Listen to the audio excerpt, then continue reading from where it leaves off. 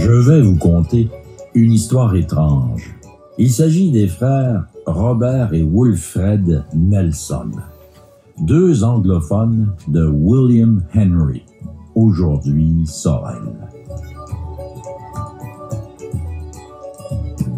Ils sont nés à Montréal, Wilfred en 1791 et Robert en 1793. C'étaient des dignes descendants d'une forte lignée loyaliste, anglaise, anglicane. Leur mère, James Dye, venait d'une famille riche de la colonie New York, une famille qui possédait de grands domaines le long de la rivière Hudson, au sud d'Albany. Les Dyes avaient quitté le territoire, révolution des patriotes américains oblige, en laissant une grosse fortune derrière eux se joignant au flot des loyalistes venus se réfugier dans le Canada britannique et royaliste.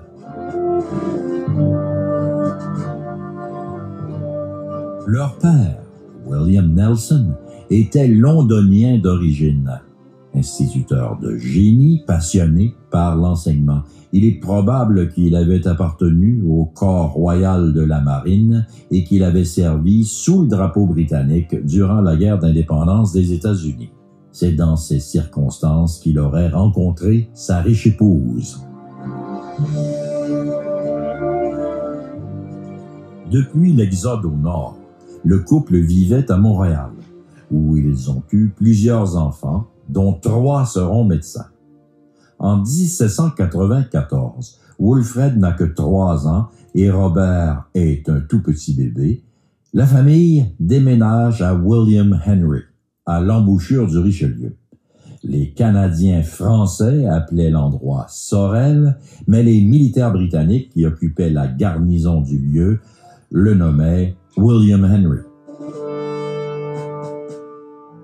Les enfants sont donc élevés à l'ombre des soldats anglais, dans un climat de garnison, dans un milieu très éloigné des réalités canadiennes des campagnes environnantes.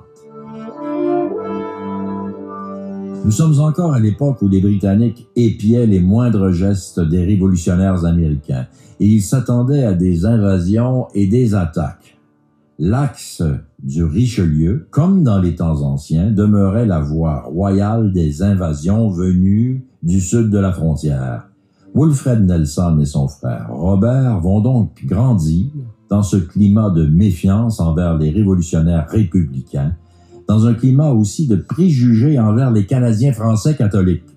Le mépris envers les Canadiens était bien cultivé par ceux qui se disaient des Britanniques en Amérique et qui ne pouvait concevoir qu'un sujet britannique parle français et soit catholique.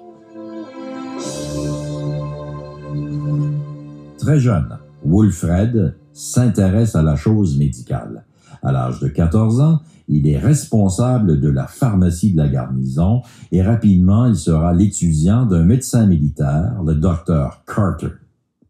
En 1811-1812, il est reconnu médecin lui-même son frère Robert poursuivra des études encore plus rigoureuses. Il fera sa médecine d'abord à Montréal, suivant les enseignements du docteur Arnoldi, puis à l'université d'Harvard. Durant la guerre de 1812 opposant les Américains au Canada britannique, à propos des frontières entre les deux pays, les jeunes frères furent affectés à des bataillons de la milice armée. Wilfred fut le médecin du bataillon qui s'installa dans le village de Saint-Denis sur le Richelieu, à quelque distance de Sorel. Il était le seul anglo-britannique de la milice entièrement composé de Canadiens. Mais à Saint-Denis, il a vécu une transformation profonde sur le plan personnel. C'était un jeune homme de 24 ans. Durant son long séjour, il se prend d'affection pour les habitants le mot habitant désignait précisément les Canadiens français. Wilfred apprit la langue des habitants, il y a des amitiés profondes, tant et si bien qu'au rappel des troupes, il resta à Saint-Denis et s'installa pour de bon, devenant le bon médecin du village et des environs.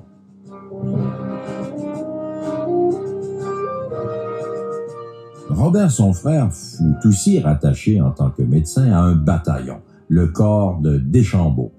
En 1814, il fut aussi le médecin attitré d'un corps de guerriers indiens. Nous savons que les nations amérindiennes furent en général alliées aux Britanniques durant les conflits avec les Américains. Elles devaient en retirer de grands avantages politiques, du moins le croyait-elle, mais l'histoire en a voulu autrement. Les nations alliées se virent plutôt larguées par ces derniers pour disparaître dans l'oubli politique le plus total.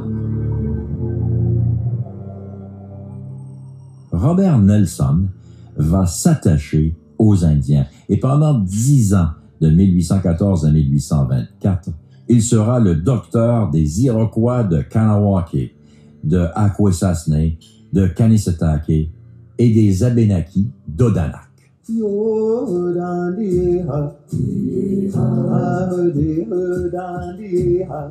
En fait, Robert Nelson développa une véritable passion pour les sociétés amérindiennes. Il demanda à plusieurs reprises le poste de chirurgien major des Amérindiens au Bas-Canada, mais le gouverneur général le lui refusa toujours. Robert Nelson avait recueilli une documentation impressionnante sur les Amérindiens. Il projetait d'écrire un ouvrage général sur le sujet de leur histoire, mais il ne mena jamais ce projet à terme. Voilà donc deux Anglais authentiques qui développent une grande empathie envers les Canadiens français et les Amérindiens, deux médecins dévoués qui développent des idées politiques quant aux injustices patentes commises contre ces peuples par les autorités coloniales britanniques. Wilfred épousa en 1819 Charlotte Fleurimont, une Canadienne catholique qui résidait à Sorel. Il avait 28 ans, elle en avait 21. Le couple s'installa à Saint-Denis sur le Richelieu, où le docteur vivait depuis 1815. Ils auront sept enfants, tous éduqués dans la religion catholique et dans la culture française.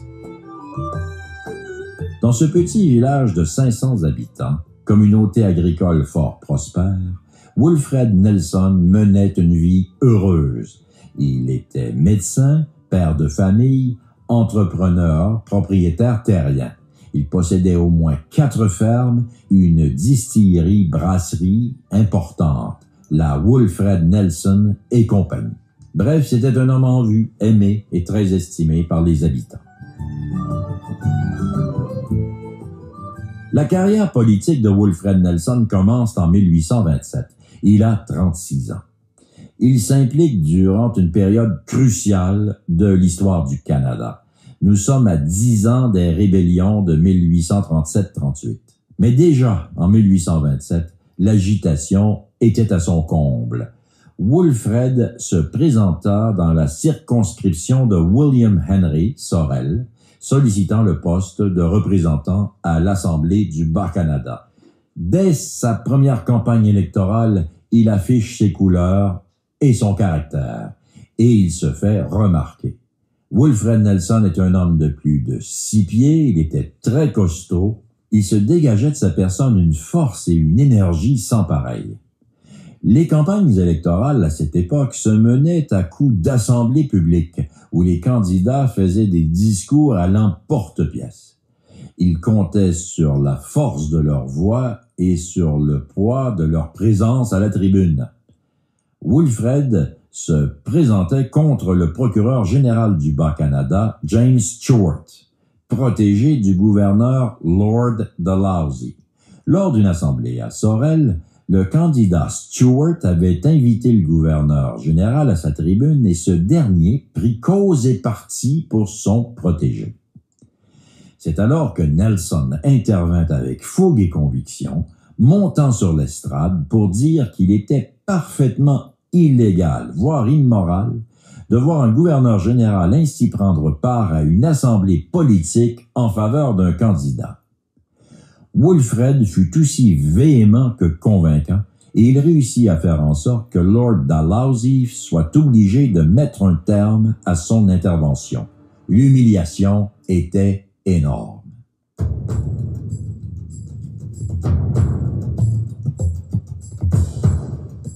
Wolfred fut élu par trois voix, ce qui provoqua de la part de Stuart une longue contestation juridique. Cependant, la carrière de Wolfred était lancée. Pendant deux ans, il exprimera en chambre et ailleurs des vues réformistes et radicales. Ce faisant, il joignait la cause des patriotes canadiens. Le Bas-Canada était en principe gouverné par une assemblée de représentants élus. La majorité de la population étant canadienne, le gouvernement aurait normalement représenté les intérêts des Canadiens français. Mais en violation flagrante des dispositions de l'acte de Québec de 1774, mais surtout en contradiction avec la création de cette Chambre composée d'élus dûment mandatés par le peuple, la démocratie donc, les autorités coloniales britanniques à Québec, par le biais du Conseil exécutif, bafouait honteusement les droits de la Chambre. Le Conseil exécutif gouvernait en maître, opposant son veto à toutes les décisions des élus. Au fil du temps, les Britanniques avaient développé une véritable clique à Québec, favorisant la corruption, l'impunité, mais surtout la profonde incompétence qui mènera directement le peuple à la révolte.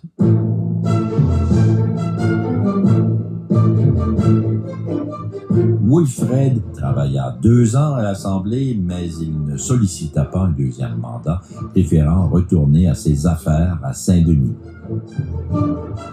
Au début des années 1830, il fit un voyage en Grande-Bretagne et en France pour se spécialiser plus encore en médecine. À partir de ces années-là, une chose devient de plus en plus claire. Il ne supporte pas les abus de pouvoir des Britanniques à Québec. Wilfred Nelson sera du côté de la justice et des droits du peuple. Les affaires se corsent dans le Bas-Canada. Depuis 1817, le Conseil exécutif non élu fait fi de la Constitution et s'arroge le droit de disposer du trésor public. Il détourne la richesse du Bas-Canada à la face même de l'Assemblée élue. Louis-Joseph Papineau devient le grand politicien que l'on connaît, le dénonciateur en chambre, de cet immense scandale. Le peuple se mobilisa. Les assemblées électorales devenaient de plus en plus tendues. Les manifestations populaires de plus en plus fréquentes.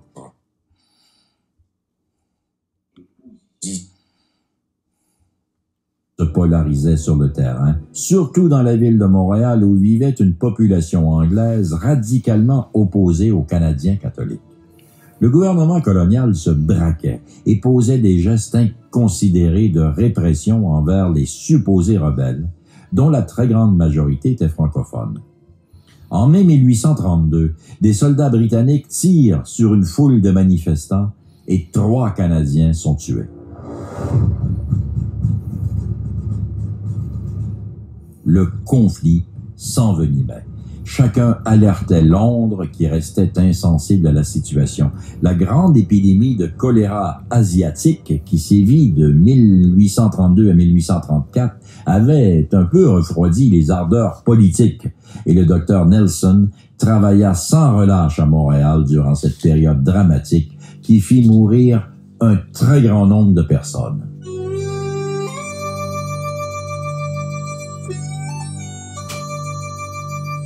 En 1834, Ludger Duvernay fonde la Société Saint-Jean-Baptiste.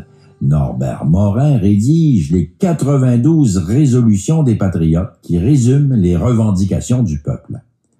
Wilfred Nelson est au premier rang pour expliquer aux habitants de Saint-Denis la teneur et l'importance des 92 résolutions. Le docteur est de plus en plus impliqué dans le mouvement radical des revendications du peuple du Bas-Canada. Cette même année, durant la campagne électorale de Sorel. Un de ses meilleurs amis est tué durant une assemblée politique. Le meurtre de Louis Marcoux restera impuni et le conseil exécutif se déshonorera encore dans cette affaire. Le docteur est furieux. Il voit bien que les autorités coloniales s'entêtent dans la corruption, les abus, le mépris envers le peuple. Les Canadiens ont des revendications constitutionnelles importantes relatives à la langue, à l'économie, mais surtout à la démocratie. Mais le parti des bureaucrates, comme on les appelait, est intraitable et il bafoue l'Assemblée représentative, donnant toujours plus de munitions aux futurs rebelles canadiens. En 1834, aux élections, les patriotes remportent une victoire absolue, mais leur action en Chambre est neutralisée par les bureaucrates coloniaux. En 1836 et 1837, les assemblées politiques se succèdent dans les villages. Le ton monte toujours. Wilfred Nelson est à l'Assemblée de Saint-Ours, où l'on proclame, à la suggestion du docteur Nelson, Louis-Joseph Papineau au titre de chef des patriotes. C'est là qu'il est explicitement reconnu que le gouvernement colonial n'a plus aucune crédibilité auprès du peuple, et c'est là aussi qu'il sera décidé de symboliquement se vêtir d'étoffe du pays avec bottines en cuir de bœuf, uniforme légendaire des patriotes. Chacun savait qu'un affrontement se préparait. Les bureaucrates réagirent mal et ne trouvèrent rien de mieux que d'interdire la tenue des assemblées publiques. Bravant l'ordre du Conseil, le peuple continua de se réunir à la moindre occasion et la résistance s'organisait en septembre 1837, sur la place Jacques-Cartier à Montréal, lors d'une assemblée tenue à l'hôtel Nelson, on fonde l'organisation des Fils de la Liberté. Dans les paroisses, on propose la création de milices volontaires et l'idée d'un gouvernement républicain commence à s'exprimer. Le 22 octobre, mille membres des Fils de la Liberté défilent dans les rues du Vieux-Montréal. Thomas Storrow Brown est reconnu général des Fils de la Liberté. Le 23 et 24 octobre, c'est la grande assemblée dans le village de Saint-Charles sur le Richelieu. À Saint-Charles, Louis-Joseph Papineau fait un discours célèbre. Il fait un vibrant appel au calme. Il dit qu'il faut suivre la voie politique, la négociation. Il est contre la violence. Wilfred Nelson, monte sur la tribune et il vocifère Je diffère d'opinion avec M. Papineau, le temps des armes est venu. Le 6 novembre 1837, les Fils de la Liberté tiennent une manifestation monstre à Montréal, malgré les interdictions des autorités britanniques. Ils sont attaqués par des fanatiques radicaux anglophones, les membres du Doric Club, une organisation combattante fondée par Adam Tom. Le mouvement radical anglophone orangiste et antipatriote s'attaquait aussi à la maison de Papineau et aux ateliers du journal The Vindicator, journal anglophone favorable aux patriotes. Thomas Storer Brown, le chef des Fils de la Liberté, est battu à coups de gourdin. Gravement blessé, il perd un œil les bases de la violence sont jetées. Le gouvernement colonial des bureaucrates ordonne l'arrestation de 25 chefs patriotes pour haute trahison et il met la tête de Papineau à prix.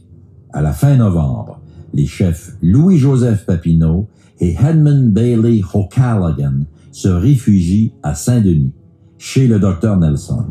Il est alors résolu de résister, d'armer les habitants et de déclarer l'indépendance du Bas-Canada. Le colonel Gore, à la tête d'une troupe de soldats britanniques, se dirigea vers Saint-Denis dans la nuit du 23 novembre. Wilfred Nelson partit à cheval en reconnaissance à l'aube. Puis, ayant aperçu la troupe dans le brouillard du matin, il revint au village, fit sonner les cloches de l'église et organisa la défense les patriotes se retranchèrent dans une maison de pierre, la maison Saint-Germain, et dans la distillerie de Nelson. Il y eut bel et bien une bataille à Saint-Denis. Les patriotes étaient moins nombreux que les soldats, ils avaient moins de fusils, mais ils étaient bien retranchés et plusieurs étaient des tireurs d'élite.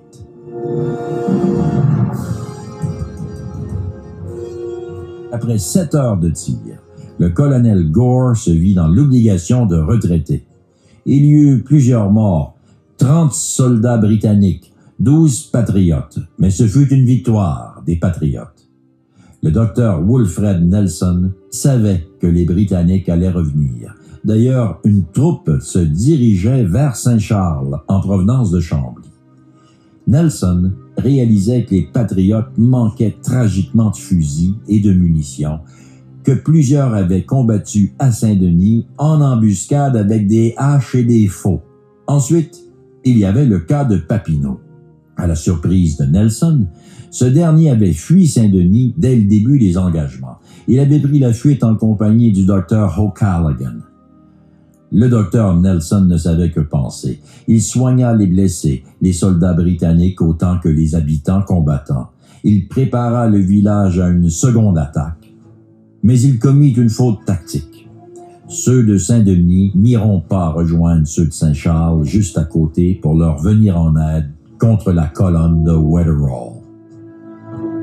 Deux jours plus tard, le général Weatherall attaquait Saint-Charles, où se trouvait Thomas Storrow Brown avec ses résistants patriotes. Ce fut la débâcle. Wilfred Nelson réalisa que la partie militaire était inégale. Le 1er décembre, sachant que Gore revenait vers Saint-Denis, il prit le parti de la fuite, sachant aussi que les Anglais lui en voulaient à mort. Il cacha sa famille chez les Dessaules de Saint-Hyacinthe. Puis il prit la route de nuit, direction la frontière américaine, par les cantons de l'Est. Il est avec un guide indien, Thomas Portneuf. Ils traversent des rivières à la nage en décembre, ils se cachent le jour, ils avancent péniblement par champs et forêts la nuit. Fugitifs, pendant onze jours infernaux, ils sont arrêtés à Stukely le 11 décembre, épuisés, hagards. Le 13 décembre, le docteur Nelson entre dans Montréal, prisonnier, assis sur une charrette, livré à la vindicte de la foule orangiste anglaise, heureuse de le voir capturé, furieuse à sa simple vue. Il est mis en prison au pied du courant. L'année 1837 s'achève. Les patriotes sont en fuite ou en prison. La rébellion, la première, est un échec. Wilfred Nelson, lui, a tout perdu. Sa maison, sa distillerie, ses terres, sa fortune, mais surtout sa liberté. À Saint-Denis, Gore est revenu et il a brûlé tout ce qu'il pouvait. D'ailleurs, l'armée fera œuvre de destruction dans les paroisses coupables. Elle brûlera, elle détruira les fermes et les maisons, à Saint-Benoît, à Saint-Eustache. Wilfred reste en prison en attente de la suite jusqu'à l'été de 1838, soit six ou sept mois environ. Dans l'intervalle, le célèbre Lord Durham est arrivé au Canada pour réparer les pots cassés et pour enquêter sur les causes de la révolte. Dans son rapport à Londres, il sera très dur à l'égard de la clique coloniale, le Family Compact, qui, selon lui, est à la source de tous les problèmes. Durham ne veut pas instruire un procès pour Nelson et les autres prisonniers. Il propose au docteur et à sept de ses collaborateurs de signer des aveux, en échange de quoi ils seront exilés aux Bermudes. Le 6 juillet 1838, une frégate de guerre quittait Québec avec à son bord les huit prisonniers en direction des Bermudes qu'ils atteindront après 21 jours de navigation. Wilfred Nelson profite des longues heures d'inactivité pour écrire des lettres à ses amis, notamment à Louis-Hippolyte Lafontaine, où l'on voit qu'il ne regrette rien de ce qu'il considère être une réaction normale du peuple contre une oppression honteuse du pouvoir colonial. Il croit même que malgré la déroute de la rébellion, les choses changeront, parce que l'Angleterre n'acceptera plus l'impunité d'une clique de corrompus à la tête des Canada.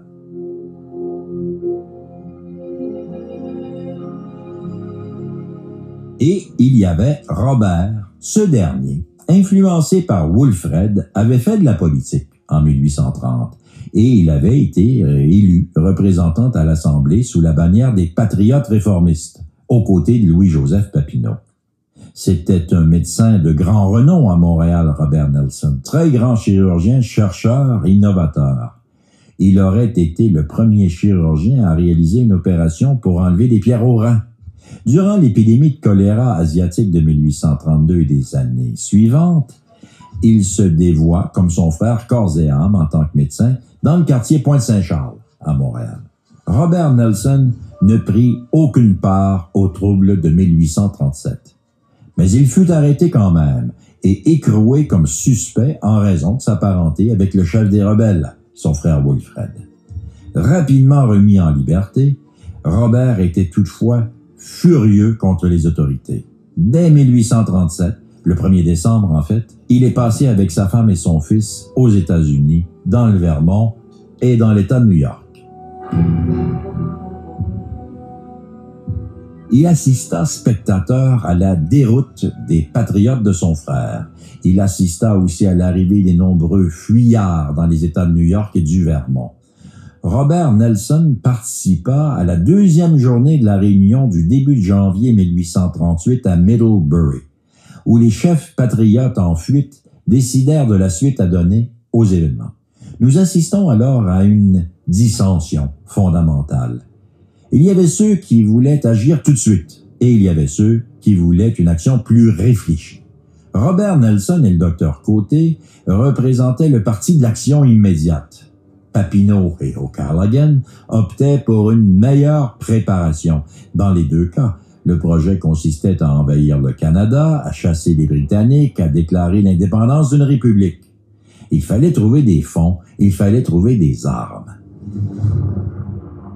Les enjeux principaux étaient le support politique et financier des Américains.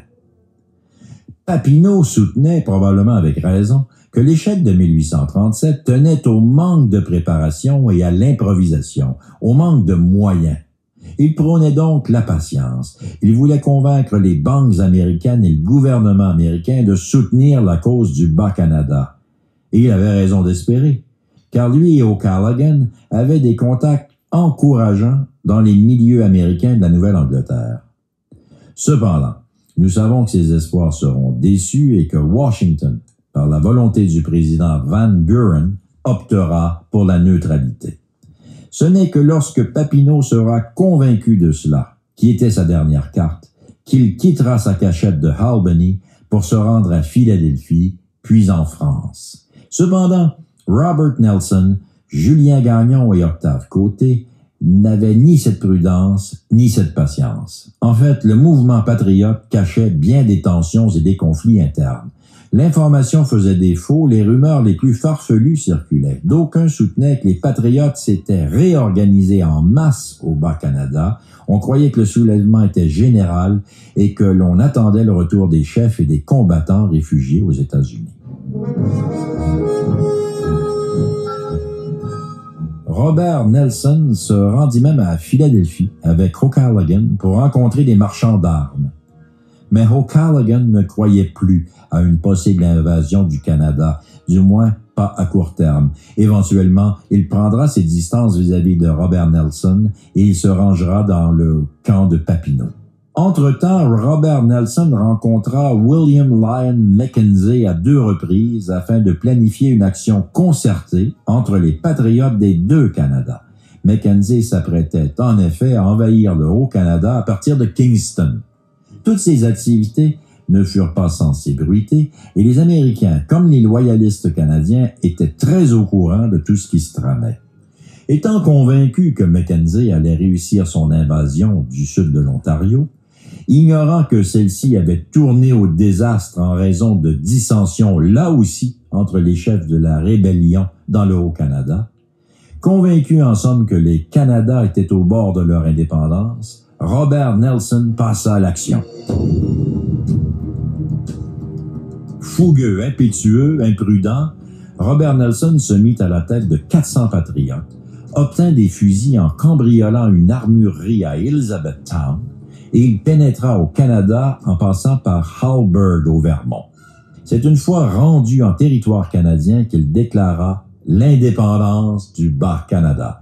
Et c'est alors aussi qu'il rendit publique la version écrite de la Déclaration d'indépendance du Bas-Canada. Pour un bref moment, il est reconnu le premier président de la République du Bas-Canada.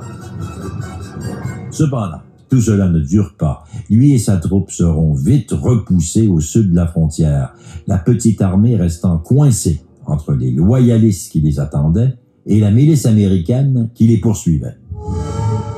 Nelson et Côté seront faits prisonniers par les Américains du général Wool pour avoir brisé les conditions de la neutralité entre les deux pays. Ils seront relâchés sous cautionnement. Humilié, Robert Nelson aurait pu abandonner mais il persista dans ses projets. Avec ses collaborateurs nombreux, il se remit à la tâche et élabora un plan d'envergure pour une réelle invasion du Canada dans l'intention de renverser une fois pour toutes le pouvoir colonial britannique. Les patriotes mirent sur pied une société secrète, l'Association des frères chasseurs, avec code et structure et hiérarchie. L'objectif de l'association était de planifier un soulèvement général avant la fin de l'année 1838, soit le 3 novembre exactement. Encore une fois, il fallait de l'argent, il fallait des armes, il fallait aussi une meilleure communication avec les patriotes restés au pays qui agissaient en secret en attente de la date prévue.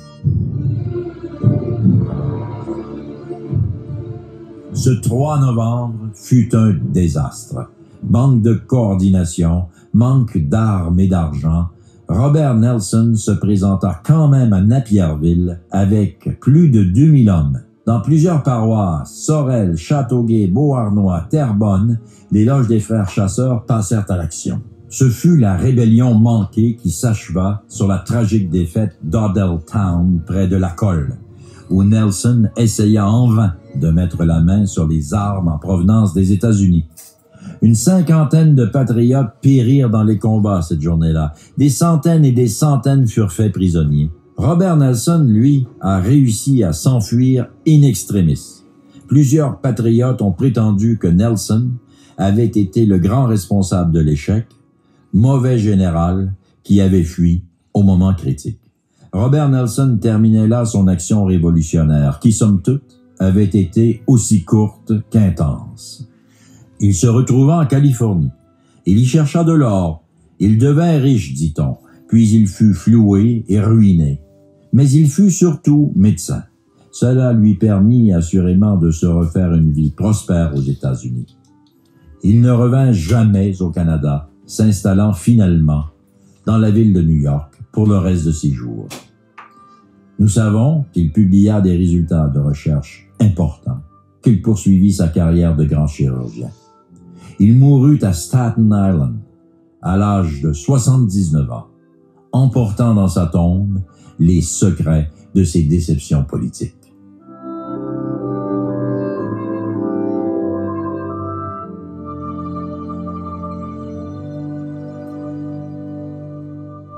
Wilfred, son frère, était en exil aux Bermudes durant tout le temps des événements de 1838. L'exil aux Bermudes sera de courte durée, puisqu'en octobre déjà, le mandement de Durham est révoqué. Les exilés peuvent quitter les Bermudes, aller où ils veulent dans le monde, sauf au Canada.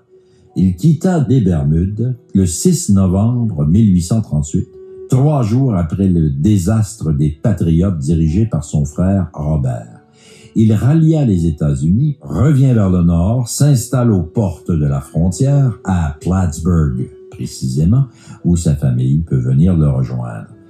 Nelson se retrouve ainsi parmi les patriotes réfugiés. Ils sont très nombreux à vivre pauvrement au sud de la frontière, bannis de leur foyer.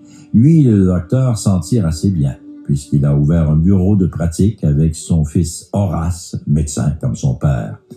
Toujours trempé dans la cause des patriotes, le Dr Nelson fera un long voyage dans plusieurs villes américaines, de Pittsburgh jusqu'en Nouvelle-Orléans, en passant par Saint-Louis, pour lever des fonds devant venir en aide aux patriotes dans le besoin.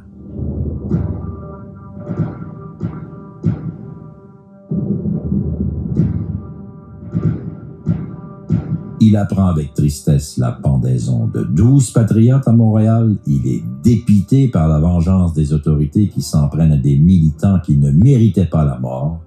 En tout cas, pas plus que les chefs du mouvement dont la plupart s'étaient échappés. Papineau allait vivre à Paris, O'Callaghan s'était résigné à vivre à Albany, lui-même était à Plattsburgh. Il participa à la réunion de Swanton en janvier 1839 pour faire le point. On le regardait comme le dernier des chefs encore sur la scène des événements. Mais à la réunion de Swanton, le docteur Wolfred fut on ne peut plus clair. Il n'est plus question de se battre. Il faut attendre, il faut laisser aller le processus politique. Il croyait que le message était quand même passé et que suite à toutes les actions des patriotes, les autorités britanniques mettront fin aux abus des bureaucrates coloniaux et favoriseront la mise sur pied d'un gouvernement responsable au Bas-Canada. À partir de 1840, c'est Louis Hippolyte Lafontaine qui prit le relais de la cause sur les plans politiques et pacifiques. Lors de la création de l'Union entre le Bas et le Haut-Canada en 1841, La Fontaine fut nommé procureur général du Bas-Canada. Éventuellement, il sera au pouvoir avec Robert Baldwin. Or, nous savons bien que La Fontaine était très près des patriotes. Il n'avait pas participé aux tentatives révolutionnaires, mais il avait été très actif sur le plan diplomatique pour faire comprendre aux Anglais de Londres que les gestes des patriotes n'étaient pas sans fondement. De toute façon, c'était un très grand ami de Wilfred Nelson et de beaucoup de leaders patriotes. La Fontaine se préoccupa sérieusement d'obtenir une amnistie pour les exilés de 1837-38. Il l'obtint pour le docteur Nelson en 1842, si bien qu'après trois années de vie passées à Plattsburgh, aux portes de son pays, Wilfred Nelson fut en mesure de rentrer finalement au bercail, s'installant à Montréal. Sa passion première était la médecine, toujours, et c'est bien ce qu'il se pressa de faire, ouvrir un bureau médical, se jurant de ne plus se laisser entraîner par la politique. Mais il n'y parvint pas.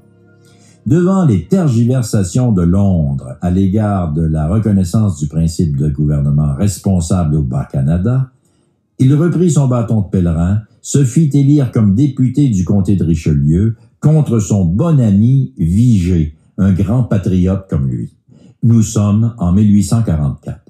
À l'Assemblée, il fait entendre sa voix tonitruante, défendant avec fougue les intérêts du Bas-Canada et appelant de tous ses voeux l'avènement d'un gouvernement responsable. Encore une fois, les royalistes et les orangistes lui en veulent à mourir, lui, cet Anglais qui prend fait et cause avec autant d'énergie pour les Canadiens français, allant jusqu'à prononcer tout un discours en français à l'Assemblée, ce qui était encore, en ces temps-là, un sacrilège.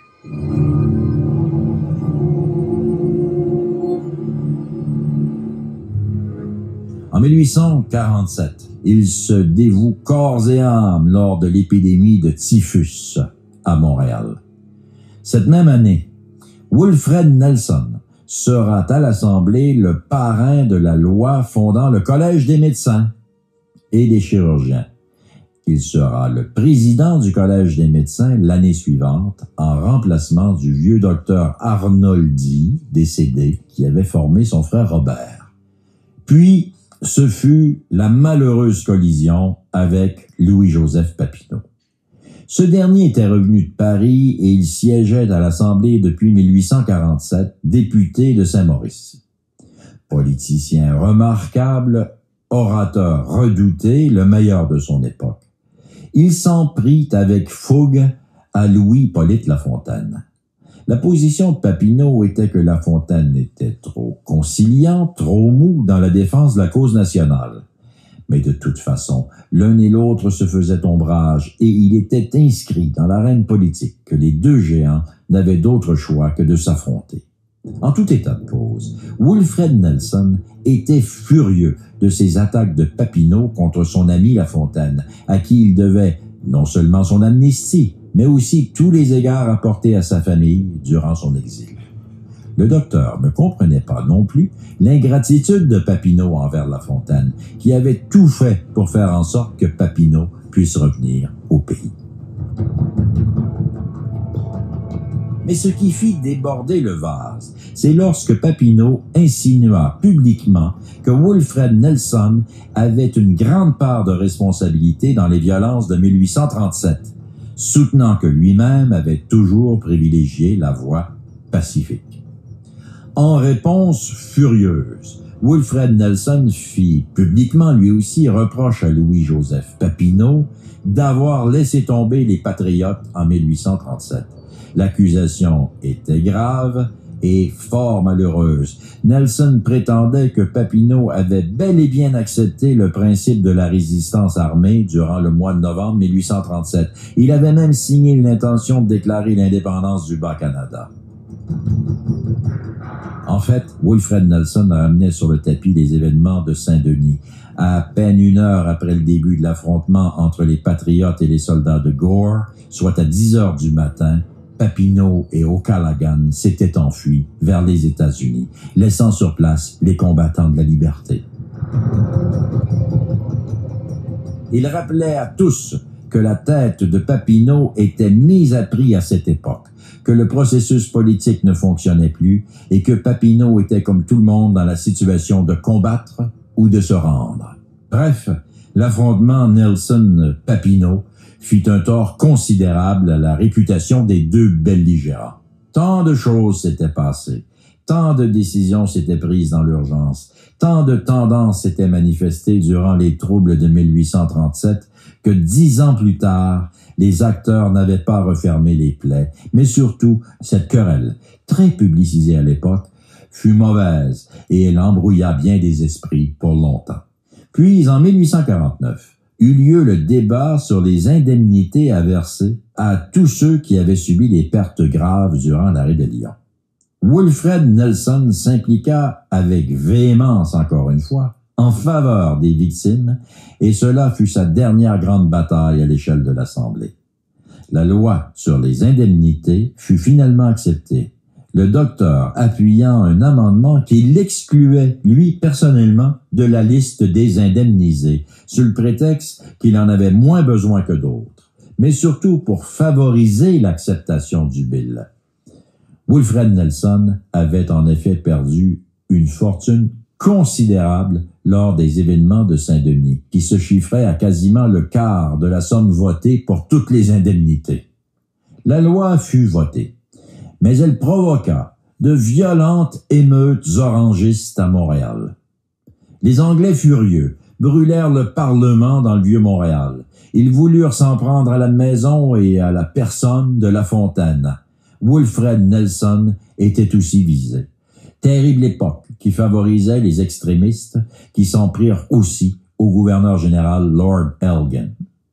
Mais une fois la poussière retombée des tensions raciales, cette loi confirmait que la rébellion avait eu une cause juste. Elle confirmait aussi la reconnaissance d'un gouvernement responsable.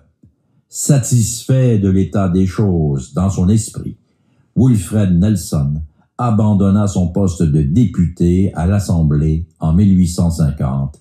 Il avait presque 60 ans.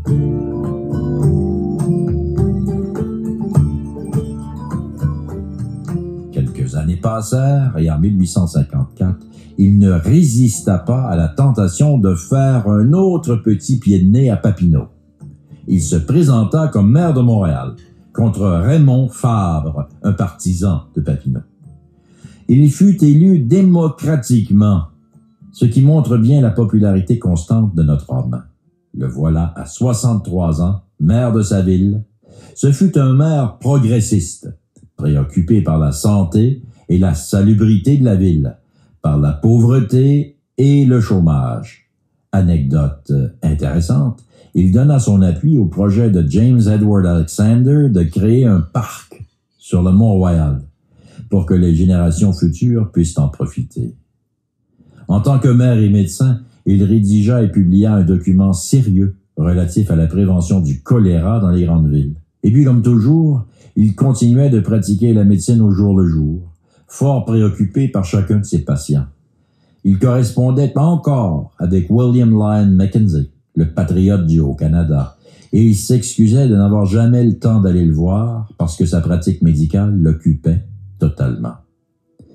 Après deux termes à la mairie, il se retira. Devenu vieux, le gouvernement lui confia la responsabilité d'une enquête sur les prisons.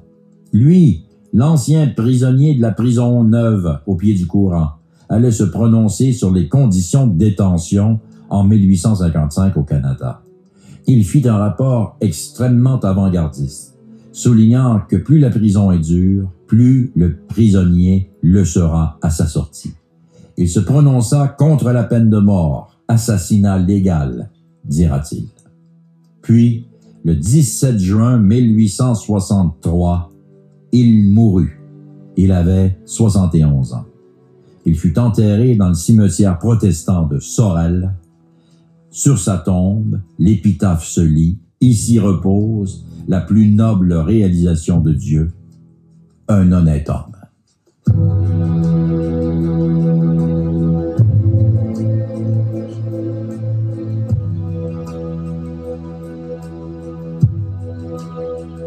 Wilfred et Robert Nelson, deux remarquables oubliés.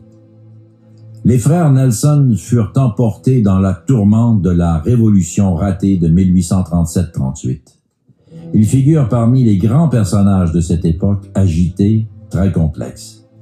Comme de coutume et comme il se doit, la rébellion fut mythifiée, mise en forme selon des schémas qui allaient devenir la tradition des exégètes. Glorification, justification, accusation, polarisation. Derrière le mythe, il y a des êtres humains. Robert était un homme d'action, un esprit précipité. Il fut imprudent. Il fut parfois difficile à saisir.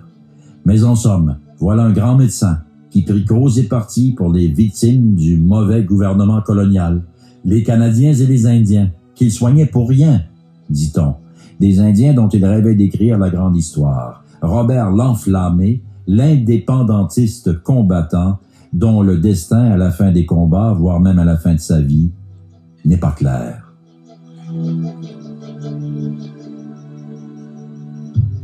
Son frère, Wilfred Nelson, fut de la même mystérieuse mouture. Anglais jusqu'à la fin, protestant jusqu'à la fin, admirateur de la Constitution et du parlementarisme anglais, il a consacré sa vie aux Canadiens français. Il laissant son immense fortune, s'exposant au bal, subissant la prison et l'exil, dirigeant le combat à Saint-Denis, poursuivant le combat dans l'arène politique bouillonnante, Wilfred, le colosse humaniste, le médecin des pauvres, l'anglais typique qui épousa entièrement et totalement la cause des Canadiens, un homme attachant, qui fut lui aussi un combattant, mais qui lutta aussi jusqu'à la fin de ses jours comme député, maire et médecin pour la liberté, pour le progrès social. Humanistes avant leur temps, démocrates sans compromis, voici deux hommes étranges aux destins exceptionnels. Les Nelson faisaient partie d'un monde engagé, riche de valeurs humanistes. Les commentaires sur la rébellion de 1837-38 sont souvent beaucoup trop simples. Citons l'historien Gilles Laporte, un parti dont le numéro 2 s'appelle Hedman Bailey O'Callaghan, dont le meilleur général s'appelle Wilfred Nelson, dont le chef après 1838 s'appelle Robert Nelson et dont le principal leader dans la région des deux montagnes s'appelle William Henry Scott, sans parler de Thomas Storrow Brown, dites-moi si nous avons manqué quelque chose.